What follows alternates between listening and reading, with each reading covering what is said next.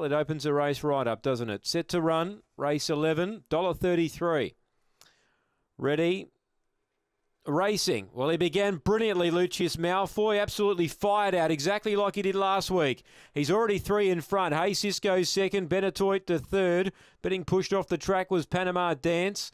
Uh, Storm found the rail, but about eight lengths off the leader. And last is Slippery Kip. Lucius Malfoy by four lengths here. Hey Cisco runs on. Three lengths to Benetoit. Up to the bend, though. Lucius Malfoy is clear. At this stage, holding them all at bay. Uh, hey Cisco takes ground off it late, but Lucius Malfoy too good for Hey Cisco and Benetoit. Uh, fourth Panama Dance, I think, from Canya Storm. And Slippery Kip last in. Favourite a bit too good here. Lucius Malfoy uh, started pretty short, justified the odds, and you love to see them get out like that.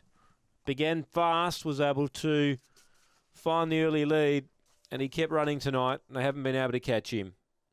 Lucius Malfoy, three and a quarter by two lengths. It's one two five seven. Take note, one two five seven, and he's been too strong.